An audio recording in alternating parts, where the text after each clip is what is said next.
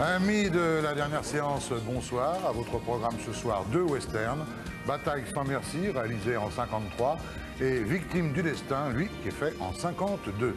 Ces deux films sont dus au réalisateur Raoul Walsh et interprétés par Rockinson. 2 mètres de haut, 110 kilos et aucune expérience de la comédie. Son vrai nom, c'est Roy Shearer. Son papa, ben, son papa, il est mécanicien et sa maman, elle est opératrice téléphonique. Il débute dans la vie comme postier.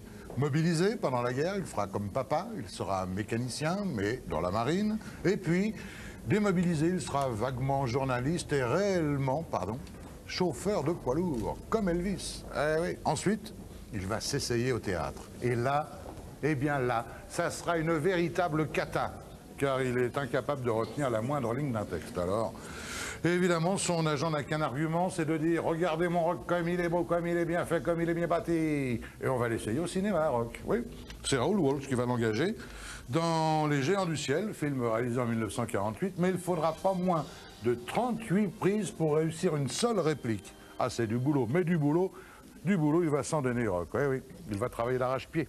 Bah oui.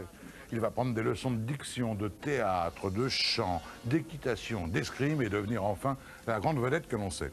Mon ami Bertrand Tavernier dit de lui Rockinson est aussi peu expressif qu'une bûche. Eh bien, cette bûche, elle a tourné avec les plus grands metteurs en scène qui soient, et elle a fait trois films avec Raoul Walsh, cette bûche. Vous vous rendez compte? C'est quand même pas mal.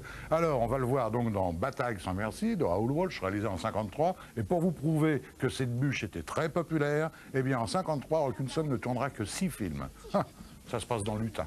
C'est un État qui s'appelle l'Utah, qui est par là, c'est vers l'écran, derrière.